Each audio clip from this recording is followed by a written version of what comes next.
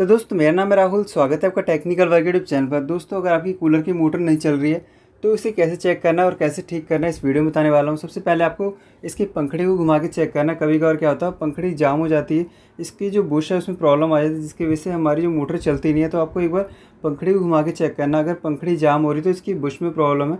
इसके लिए आपको क्या करना है, इसमें थोड़ा सा ऑयल डाल देना इसके साफ्ट में, इससे क्या होगा, पंखड़ी स्मूथ हो जाएगी और मोटर चलने लगेगी। अगर इसकी पंखड़ी इस टाइप से फ्री घूम रही है तो आपको क्या करना है? सप्लाई को ऑन करके पंखड़ी को घुमा के चेक करना है। अगर मोटर चल जाती है तो इसका मतलब क्या है? जिसमें कैपेसिटर लगा वो वीक हो गया है। कैपेसिटर वीक होने की वजह से हमारी जो मोटर नहीं चलती, जैसे हम पंखड़ी घुमाते हैं मोटर चलने लग जाती है। तो इस केस में आपको क्या करना है? इसके कैपेसिटर को चेंज कर देना है। इससे क्या होगी? जो हमारी मोटर चलने लगी कैपेसिटर को कैसे चेंज करना है, उसके बारे में बताऊँगा। अगर मान लेते हैं, इस टाइप से पंखड़ी घुमाने के बाद हमारी मोटर नहीं चलती है तो हमें क्या करना है, यहाँ पर जो हमारा स्विच लगा होता है three speed switch single one way switch या फिर रेगुलेटर लगा होता है, आपको क्या करना उसे एक बार डायरेक्ट चेक करना मोटर को कभी कभार क्या तो स्विच ख़राब हो जाता है।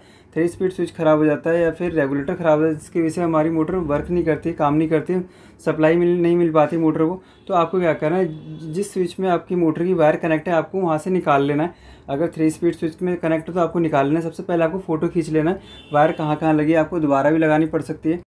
तो यहाँ पर देखिए, मोटर की वायर को मैंने अलग कर दिया। यहाँ पर आपको दो तार दिखाई दे रही मोटर के। हमें क्या करना है, इसे चेक करने के लिए हमें यहाँ पर एक टू कोर की वायर लेना है। देखिए यहाँ पर मेरे पास एक टू कोर की वायर थी। आपके पास कोई एक्स्ट्रा कोई वायर पड़ी है तो आप इसे चेक कर सकते हैं। देखिए यहाँ पर मैंने इस टू कोर की वायर को मोटर की दोनों वायर से मैंने कनेक्ट कर दिया अब हमें चेक करना है यहाँ पर। अगर आपके पास एक्सटेंशन मोड तो एक्सटेंशन मोड से चेक कर सकते हैं या फिर आ, किसी सॉकेट के पास लगा के चेक कर सकते हैं। देखिए जैसे मैं इसकी सप्लाई को ऑन करता हूँ देखिए हमारी जो मोटर चलने लगी तो कभी अगर आपकी मोटर इस टाइप से चेक करने के बाद चलने लगी तो इसका मतलब क्या है? जो स्विच या रेगुलेटर या फिर थ्री स्पीड स्विच लगा हुआ है वो ख़राब है जिसकी वजह से मोटर को सप्लाई नहीं मिल पा रही। अगर पंप चल रहा है तो इसका मतलब मेन सप्लाई की तार ठीक है और स्विच या रेगुलेटर में प्रॉब्लम है। अगर पंप भी नहीं चल तो मेन सप्लाई की प्रॉब्लम मेन सप्लाई की वायर में भी प्रॉब्लम हो सकती है। आपको मेन सप्लाई की वायर को भी चेक करना है। अगर पंप चल रहा है तो इसका मतलब क्या है? ये स्विच या फिर रेगुलेटर जो भी लगा है, वो ख़राब है। आपको उसे चेंज करना पड़ेगा। अगर मान लेते हैं इस टाइप से डायरेक्ट चेक करने के बाद हमारी मोटर नहीं चल रही तो आपको क्या करना है? इसके जो बैक कवर होता है, उसे खोल लेना। क्या होता है, इसके अंदर जो वाइंडिंग की वायर होती है, उसमें से वायर हीट होकर निकल जाती है, फिर कैपेसिटर की वायर हीट होकर निकल जाती है। कैप्स्टर जल जाता है, इसकी वजह से हमारी मोटर वर्क नहीं करती है। तो यहाँ पर इसके बैक कवर को खोल देना। देखिए, यहाँ पर तीन स्क्रू लगे थे। देखे, देखिए, यहाँ पर मैंने तीनों स्क्रू को खोल दिया और यहाँ पर देखिए आपको कैपेसिटर और इसके साथ में वाइंडिंग की जो वायर आ रखी है, उसके कनेक्शन हो रखे हैं। और इसी के साथ आपको ये मेन सप्लाई की वायर दिखाई दे रही है। सबसे पहले हमें वायर चेक करना, कोई वायर हीट होकर निकल तो नहीं गई या फिर वायर टूट तो नहीं गई है। अगर आपके मोटर में कैपेसिटर ख़राब है तो आपको यहाँ पर कैपेसिटर की दो वायर दिखाई दे रही है, जो कि वाइंडिंग के वायर से कनेक्ट हो रखा है। आपको दोनों वायर को निकाल लेना और जितने कैपेसिटी का कैपेसिटर लगा हुआ है, आपको चेक कर लेना उतनी कैपेसिटी का आपको कैपेसिटर लगा देना इसमें, इस मोटर में जो कैपेसिटर लगा है, आठ माइक्रोफैट का लगा है।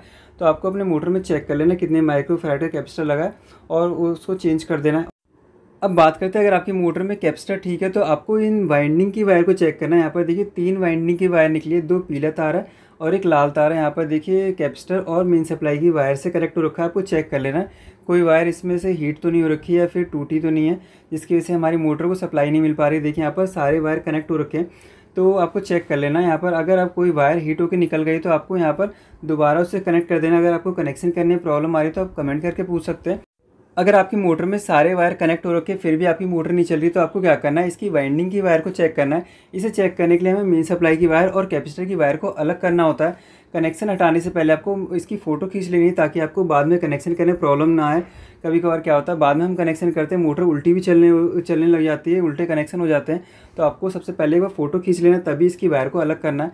तो यहाँ पर देखिए, तीनों वायर, वाइंडिंग के जो तीन वायर आपको दिखाई दे रहे तीनों वायर को मैंने अलग कर दिया है। और इसके बाद हम इसकी वाइंडिंग को चेक करेंगे। वाइंडिंग इसकी जल तो नहीं गई है या फिर वाइंडिंग शॉर्ट तो नहीं है तो इसे चेक करने के लिए देखिए, तीनों वायर को हमें अलग अलग कर देना तो इसे चेक करने के लिए हमें क्या करना होता है? सीरीज़ टैचलम बनाना होता है। सीरीज़ टैचलम अब आसानी से बना सकते हैं। इसके लिए हमें क्या करना होता है? एक सौ वाट का बल्ब चाहिए होता है, होल्डर चाहिए होता है और उसके साथ वायर चाहिए होती है। देखिए यहाँ पर बल्ब और होल्डर ले रखा है मैंने यहाँ पर। देखिए वायर इसमें कनेक्ट हो रखी है।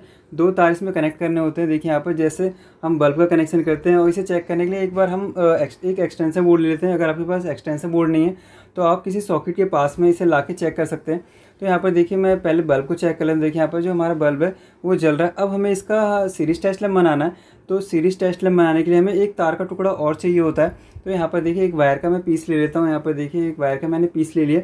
अब हमें क्या करना है? यहाँ पर जो बल्ब होल्डर के दो तार आपको दिखाई दे रहे हैं, दोनों में से किसी भी एक तार को हमें क्या करना सॉकेट में लगा देना एक्सटेंशन बोर्ड या फिर आपको, आपके आपके घर में जो स्विच बोर्ड है, वहाँ पर आप लगा के चेक कर सकते हैं। देखिए, एक वायर को मैंने बल्ब होल्डर के एक वायर को मैंने सॉकेट में लगा दिया और ये दूसरा वायर है, हमें इस टाइप से पकड़ लेना है और इस वायर को हमें सॉकेट के दूसरे टर्मिनल पर लगाना है। यहाँ पर वायर हाथ से टच नहीं होना चाहिए, नहीं तो करंट लग सकता है। अब हमें इसे एक बार चेक करना है। देखिए, जैसे मैंने टच किया बल्ब जलने लगा। अब हमें क्या करना है? यहाँ पर जो तीनों वाइंडिंग की वायर है, तीनों को एक एक करके चेक करना है। देखिए, दोनों पीले तार पर लगाया हमारा बल्ब जल रहा है। इसका मतलब वाइंडिंग ठीक है बल्ब जलना चाहिए। इसी के साथ यहाँ पर पीले और लाल तार से लगाया मैंने, यहाँ पर भी बल्ब जल रहा है।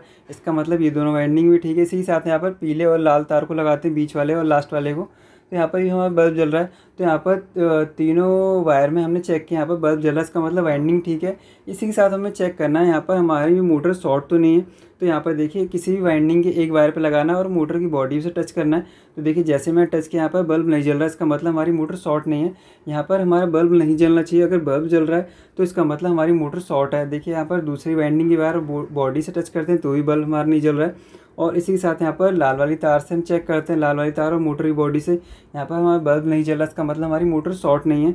अगर यहाँ पर बल्ब जलता मोटर की बॉडी और वाइंडिंग की वायर से तो इसका मतलब ये होता है, हमारी मोटर शॉर्ट है मोटर में प्रॉब्लम और इसी के साथ जैसे कि हमने वाइंडिंग की वायर को चेक किया था, अगर किसी वाइंडिंग की वायर पे हमारा बल्ब नहीं जला इसका मतलब वाइंडिंग जल गई है तो आपको इसकी दोबारा वाइंडिंग करवानी पड़ेगी। तो दोस्तों, इस टाइप से आप अपने कूलर की मोटर को चेक कर सकते हैं। अगर चेक करने प्रॉब्लम आ रही तो आप कमेंट करके पूछ सकते हैं। अगर आपकी मोटर में तीनों वायर पे बल्ब जल रहा है और मोटर शॉर्ट भी नहीं है तो उस केस में ये हो सकता है जो इसके अंदर कैपेसिटर लगा है वो कैपेसिटर ख़राब हो गया, जिसकी वजह से मोटर स्टार्ट नहीं हो रही। तो इस केस में आपको क्या करना है, कैपेसिटर को चेंज कर देना इससे क्या होगा, जो मोटर चलने लगेगी। तो दोस्तों, इस टाइप से आपने मोटर को चेक कर सकते हैं। अगर आपको फिर भी इसे ठीक करने प्रॉब्लम आ रही तो आप कमेंट करके पूछ सकते हैं।